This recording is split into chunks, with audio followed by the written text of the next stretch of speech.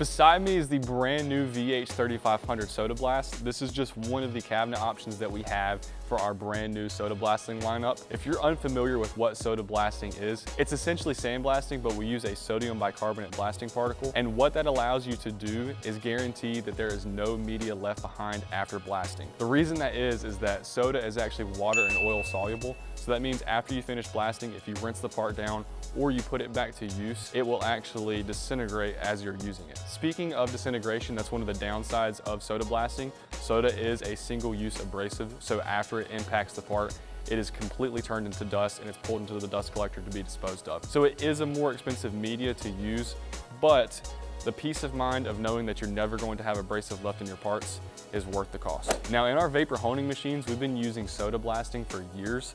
Of course, with soda being water soluble, you have to super saturate it inside of a wet blasting cabinet. One of the benefits of wet soda is that it becomes a multiple use abrasive. Now it doesn't last as long as something like a glass bead, but inside of a vapor honing cabinet, again, you can use that abrasive again and again. The downside is it's nowhere near as effective as it is in dry soda.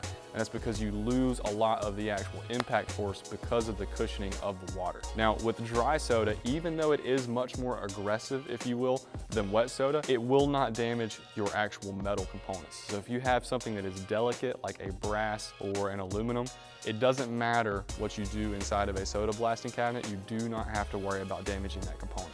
So to demonstrate, I'm gonna take this gear, which we've actually soda blasted the right-hand portion, but I'm actually gonna show you guys some blasting footage with this left-hand side. And you can actually see how quick this soda blasting machine can actually remove all of this grime that's left on this part.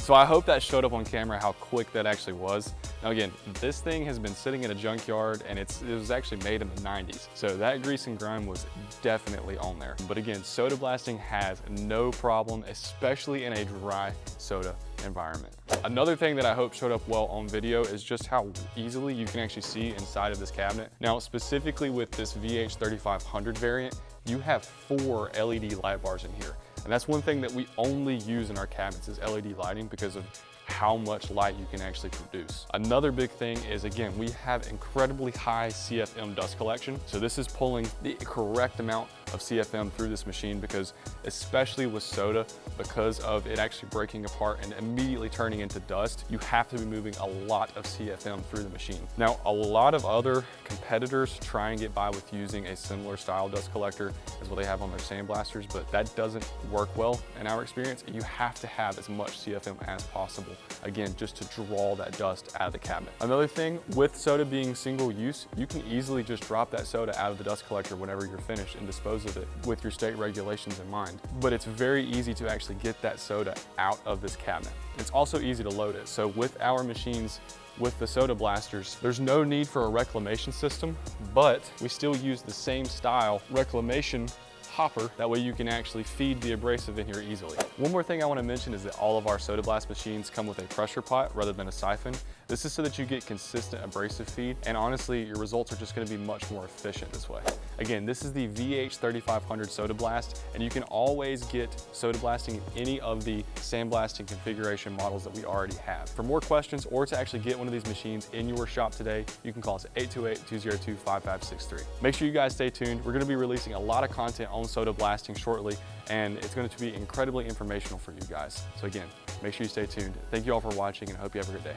Peace.